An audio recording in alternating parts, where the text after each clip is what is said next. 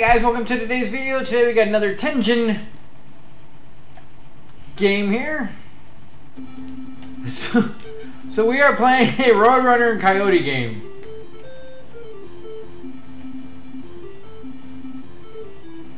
We pick up this, yeah, sorry, we pick up the seeds.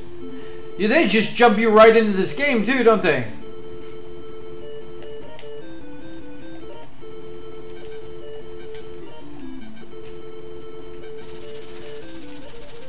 Whoa! Alright, so we got rocket skates on, and he almost caught us for a little bit there. Alright, so now they're adding more uh, stuff. The Acme truck. Oh, he got us. Whoa! Boy, as soon as he gets that those things, that gets a little rough.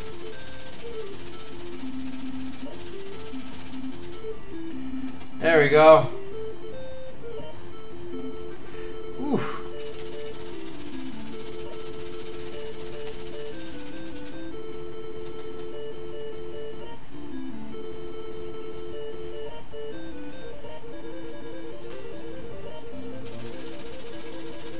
Oh, this is not going to go well.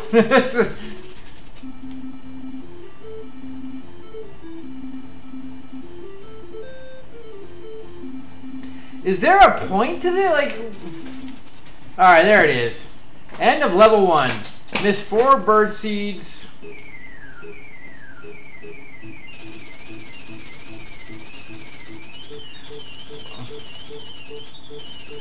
Oh! Oh, he got us. He got us. I thought that was going to be a negative, but it kind of wasn't, was it? Ah. All in all, there's not a whole lot to say about the game. Like, it's very basic.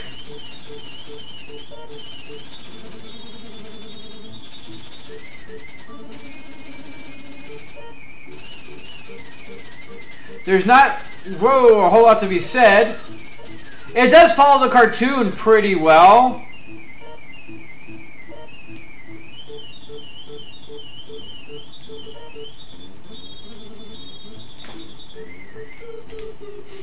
It is kind of fun that they have him getting his, uh,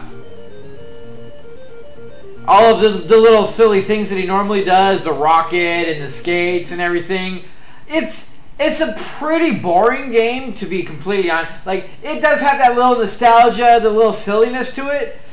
But other than that, like, the game is, uh...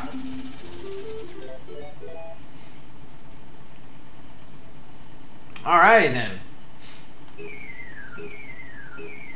The game is fairly, like, it's straightforward, but it's also kind of boring, to be honest. Ah...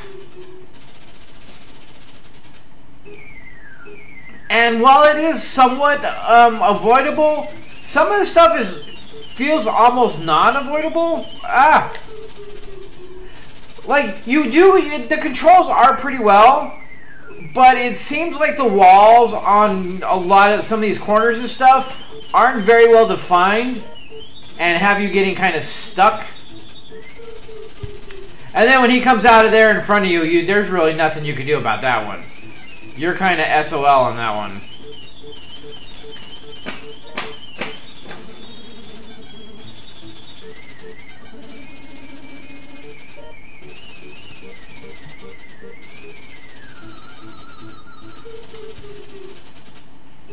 Uh, it's kind of rough.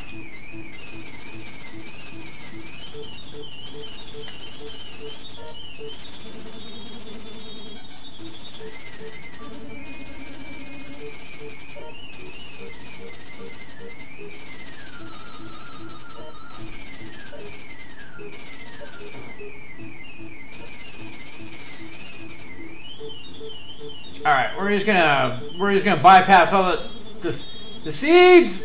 Ah, yeah, like like I said, some of this you can't go back also. So let's see, there's the thing there. It's almost kind of like you're playing Pac-Man to a point. Ah. But yeah, the controls are like you you run into the walls, and like we've we ran over the seed like a multiple times, picking where it, how it picks up and everything is a little bit of an issue. Ah. yeah, for some reason, going like all these uh, jets and jags and everything don't make well for actually maneuverability, and the hitbox for picking up the seeds mm, is a little rough. Ah, we can't go back. Uh.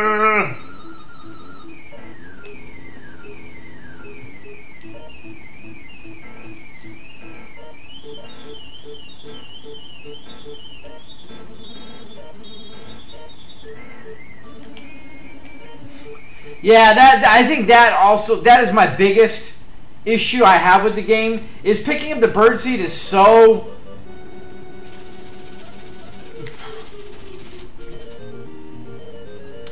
like I, I see it. It, it. it has a little bit of a of a of kind of a of a, a smidgen of fun with the nostalgia, but all in all, it's not really an overly well. It's not an overly fun game. It's a pretty just.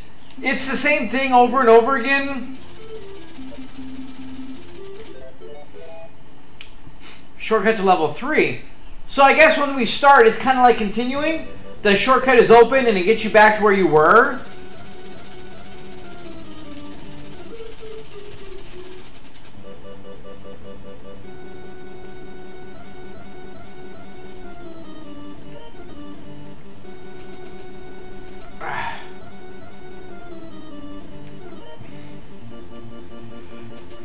It feels a lot like it's kind of Pac-Man where we keep going in all these uh, dead ends. And then, yeah, we get caught. That kind of starts losing fun real quick. Because of the controls, where he... It does not move well. Around a lot of these corners.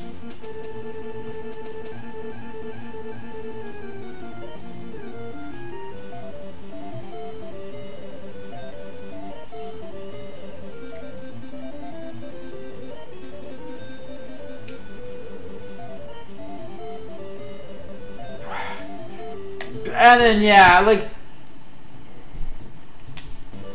getting hit in those little things where sometimes he'll miss you, and sometimes you'll get hit.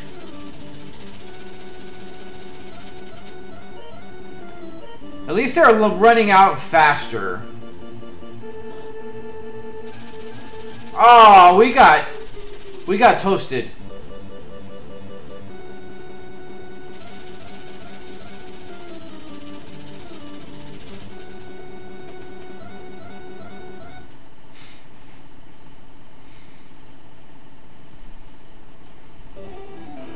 Oh, wow. So now we're going to have... So, I mean, it's all the same, which, of course, you kind of expect, with just a random, different kinds of, uh...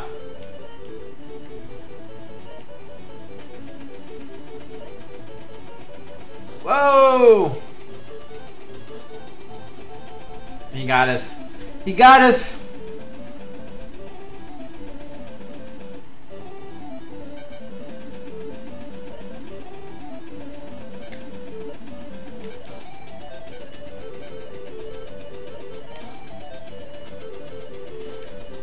Serpentine, baby! Serpentine! Good lord, this one's lasting forever!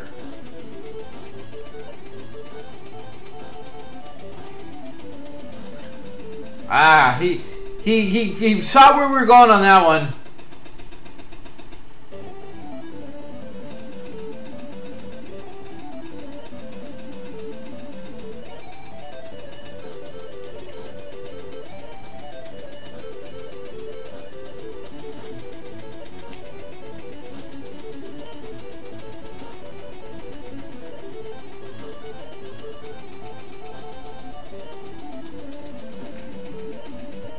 You do get to the point where you're like getting kind of Oh, you can jump. Okay, that's where the jumping comes in. That's where the. I thought he was just gonna go over. He didn't. Hey, we came in on 10th there. So I'm guessing we're gonna go back. Yeah, shortcut. Bonus life awarded. We get to do this again. We'll do a little bit more. Like, yeah, it's not overly fun, but it kind of is, and it has this like. It does have a Pac-Man-ish kind of quality to it, where you want to do more, and you're like you get kind of into it, where you're like just. Where it's very basic, very simple. There's not a whole lot of gameplay. There's a couple things to be desired on it we are doing better on picking uh, the bird seed up now. I don't know what it is about one of the other levels that made it like really bad. But we are actually doing a lot better on picking it up pretty easily.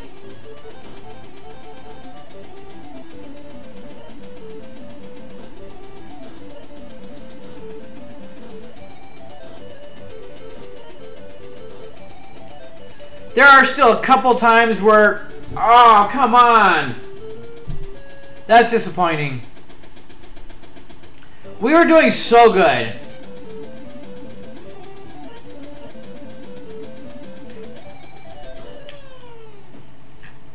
I jumped that. What in the ever-loving...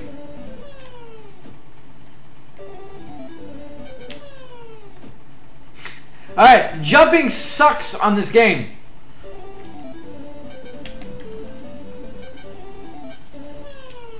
Wow, that is... I don't even want to do that again. Like, to be honest, that was just bad. The jumping does not work very well at all. Like, alright, I get it. The, the wall kind of uh, boxes, the invisible wall, so to speak, when you're doing the corners and how they have it programmed. It, it, it kind of sucks in that one level where you're trying to maneuver around very tight things. It does not work very well. The hitboxes where you're picking up the bird seed is very small. Like there's sometimes you can get in the groove and pick them up pretty well, but sometimes you're walking over it three or four times and getting nothing out of it. And then um, that that okay, we're overlooking it. We're moving on. The game is kind of redundant. It's fun. It has it has little things, but it for the most part, like it really is overly basic and the same thing over and over again. But then you put in that jumping like that, and you it, it because like the jumping sucked so bad. As you can see we tried to jump four times and we barely finally got there. And it was very disappointing. But um you know it, it's got a little fun nostalgia thing going. We didn't even see any of that going. But it has a fun nostalgia. It definitely has the the feel and the soul of the cartoon. Because i mean honestly the cartoon is just as basic as this game is it's kind of the same thing over and over again. It was silly. It was fun when you were a kid. If you watch it now, it's pretty like, okay, how many times we're going to do this? But um, so the game really has the heart and soul of the cartoon. To be completely honest, like it really does have that feel with you know him getting his all of his little Acme things going on and and all the different things to try to catch you. I mean, it, it's fun for a few minutes. It has some nostalgia, but the more you play it, the more it just it, it that that kind of just rubs off, and you're just like playing a very repetitive, somewhat fun but also kind of boring game. Like they didn't put a whole lot into it. Like the levels, they, they do change a little bit, but it's still kind of the street or the road, which of course is the cartoon. So we can't really say anything negative about that because that's where most everything takes place, anyways. It is a road runner. So we can't expect much other than the road. But the the backdrops and everything are kind of they do better than a lot of games where they have it very boring and uh, like everything on a pattern where it's like wow we suck we just got whooped right out the gate but um so we don't have quite the same just repetitiveness of the backdrop as we do on a lot of games. But it is kind of there. So the scenery starts to become kind of boring. Although with this kind of game, that's not overly a big deal because you're not looking at the top very much. With as much going on and trying to avoid and picking up things and all this stuff, that uh,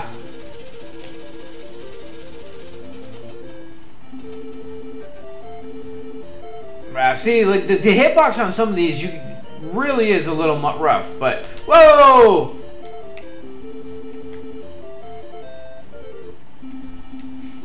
we got hit by the truck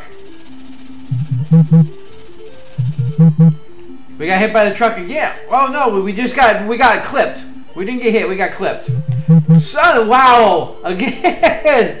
That is bad. We sucked very much here. But as you can see, like, you don't really notice the backdrop as much.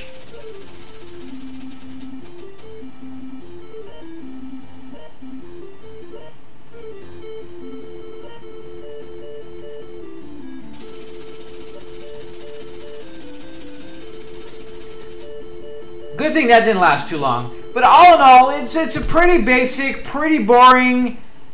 We, we got all the bird seats. We got some serious points there. I mean, it has a little bit of a draw to it. It has a little bit of a...